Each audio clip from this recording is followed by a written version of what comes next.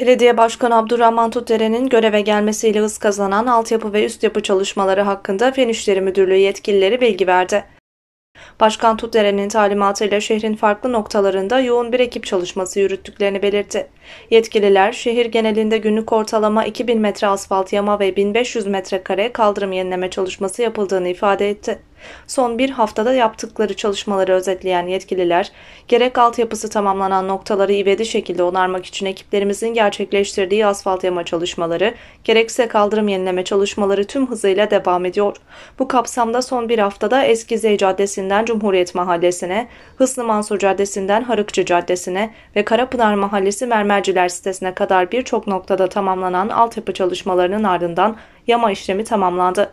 Bunların yanında Emlak Konut tarafından 3. çevre yolunda sürdürülen altyapı hattı döşeme çalışmalarının olduğu kısımlarda da freze ve asfalt çalışması devam ediyor.